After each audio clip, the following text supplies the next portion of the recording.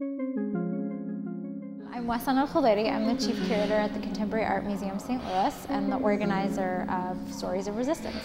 Stories of Resistance is a group exhibition um, and it really was inspired by St. Louis, about thinking about the way in which St. Louis, historically and in our contemporaneous day, is a place where there is so much agency and action and, and energy in the city and in the streets. And so we really wanted to take that idea and, and be inspired by it to build an exhibition that looked at ideas of resistance from a global point of view. But think about them in the context and through the lens of St. Louis. So even though these stories are from from many different places around the world. Our hope is that through those stories that the artists are presenting, that people in St. Louis will come and visit the exhibition and find connections between their stories and this city and the stories of people in farther away places. Stories of Resistance has um, 17 artists but some are also artist collectives, so there's about 23 artists who are represented in the exhibition, um, and over 40 works of art are here from artists working in the United States, such as uh, Dread Scott, uh, Jen Liu, Candice Lin, but also artists who are working abroad, um, like Banu Cennetoğlu, uh, Kamangwa Lauher, um, and Bani Abidi. Um, we also are working with uh, a public art uh, collective initiative in St. Louis, based here, uh, called PSA. Standing in front of the work of Guadalupe Maravilla, uh, titled Disease Thrower Number 4.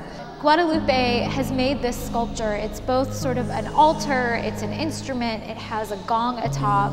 If you look really closely, you can see there's um, like a headpiece because it's actually worn by the artist uh, for performances. The mural is a, a project of, by the artist where he invited two St. Louisans who are DACA recipients uh, to come into the museum and play a game with the artist uh, on the wall. And the game is called Tripa Chuca. And the game is really special to the artist because he uh, traveled from El Salvador to the United States uh, when he was young by foot.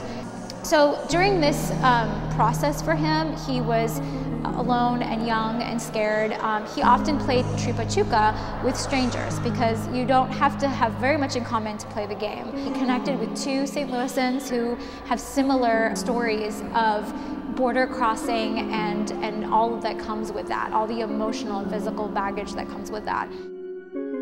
Radio resistance is an integral component to the exhibition, um, and it is the way that we will activate the voices and stories in the exhibition through a different medium. It's also an opportunity for us to take these ideas that are global and um, really tease out ways in which they connect locally. So each of the 11 episodes will um, connect an artist uh, in the exhibition in conversation with uh, an artist, an activist, a historian, organizer who's either based in St. Louis or has a very deep knowledge of St. Louis.